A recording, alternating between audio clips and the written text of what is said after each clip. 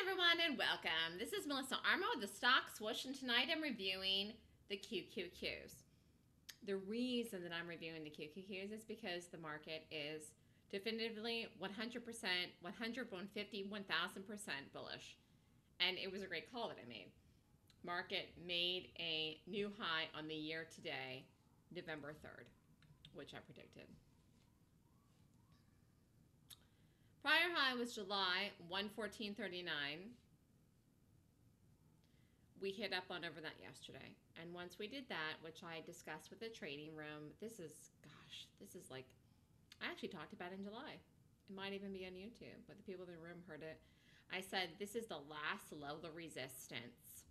This is the last level of resistance in the market.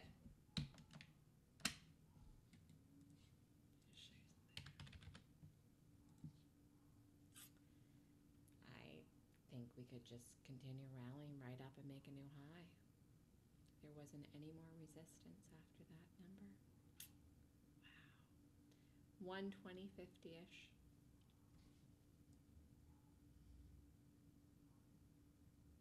It'll be an all-time high in the market in the QQQs, which which I predicted, which I actually predicted in November of 2014. And even though we had the anomaly day oops, that happened here in August, gap down. Closed the night before at 102.40. The market actually gapped down and opened at 94.23. Fell 10 points on the live day. In the first five minutes of the day, swooshed and negated the swoosh and flipped. Rallied all the way up to 102.53 and the reality is that I talked about in the room, we didn't trade that day. I didn't do anything because I said this is a day you do not want to trade because things are strange. It was strange the market gap down. But because I understand the stock swoosh, which is a play embedded in the market, and the negation of the swoosh, which happened, again, all me that I embedded in the market, I knew then that the market actually got bought on this day. And therefore, it got bought with institutional money. And I also understood that the low, which was 84.74, did not break the chart of this market, that the market was still in a bullish uptrend despite the gap down that happened on the 24th, because I know how to read trends in charts. That's something I teach in the trends class and the Golden Gap course. But to make a long story short, the reality is that I knew all since last year and even all this year and even with the gap down the market would make a new high and it did it yesterday following through today and i just don't see anything anything at all that stops us from making a new high, an all-time high in the QQQs over 120.50, meaning just continue the rally. We will make that new high before the end of the calendar year. My goodness, it's two months away. But I'm saying to you that we could actually just straight on go right up there. One of these days, since the market has give 100% confirmation that in fact it is higher, which I've said all along, one of these days we could just gap up big. And I kind of said that to the trading room about a week ago. I'm like, and I and I off the cuff just looked at the market live and was going over it. I might have it in a video. I don't know about the room, but I said, "Oh my Lanta!" I said, "I think we actually end up gapping up like something significant." We didn't do that today. We gapped down today and rallied.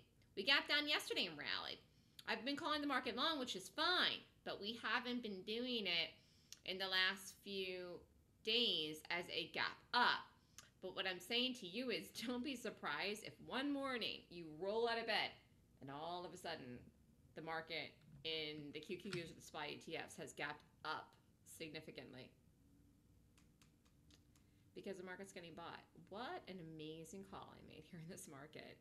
It's it's unfortunate that at the time that I made the call in the market that it was long a year ago, and at the time I made the market that it was long in August 24th uh, of 2015.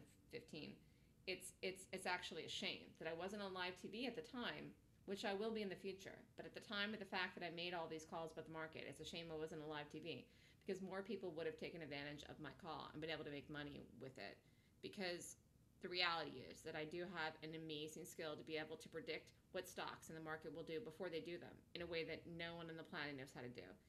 And it's really because of the fact that I have studied gaps for the last seven years of my life.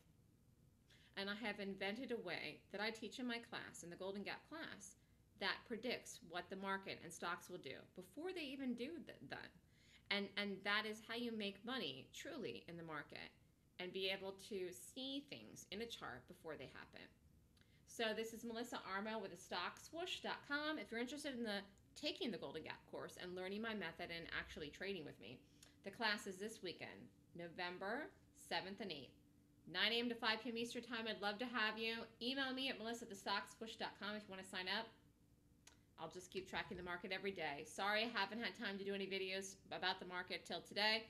But if you're in the live trading room with me, obviously, obviously, you know that this is amazing. And I don't even have anything left to say. Go market, rally. I'm the girl that loves to short, and I called the market higher when no one else was. Even in the gap down that happened, that opened and dropped and swished. You got to learn how to read money in the market, and it doesn't matter what direction you take it. You just better get it right. Have a good night, everyone.